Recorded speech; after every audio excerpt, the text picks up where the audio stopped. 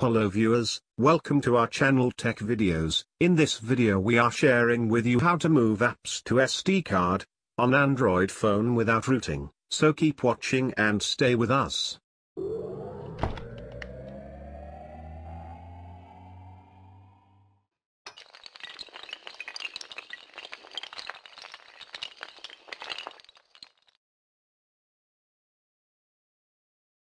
If you don't subscribe our channel, please subscribe our channel, and thumbs up like button.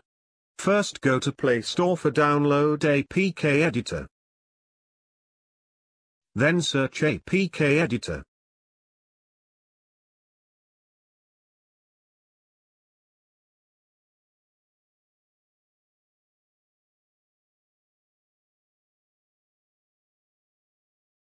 Click on the Install button.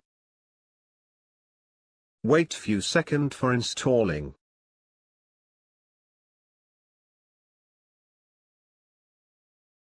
Download process has been completed. Click on the Open button. Click on the Select APK from app. Choose your app, if you want move. I want to move this app, so I am click on this app. Then click on Common Edit. Change install location. Click on the Prefer External option. Now click on the Save button. Wait few second, this time defend your app's size. Now click on Remove button, for uninstall previous version.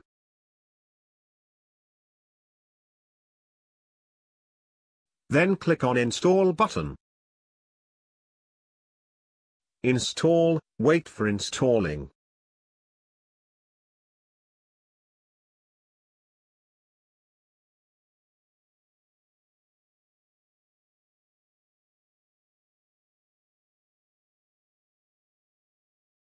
Let's go to check.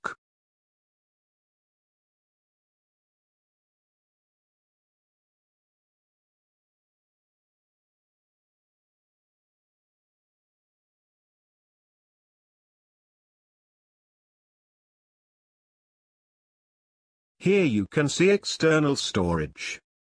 Thanks for watching. Would you like this video please subscribe our channel and thumbs up like button.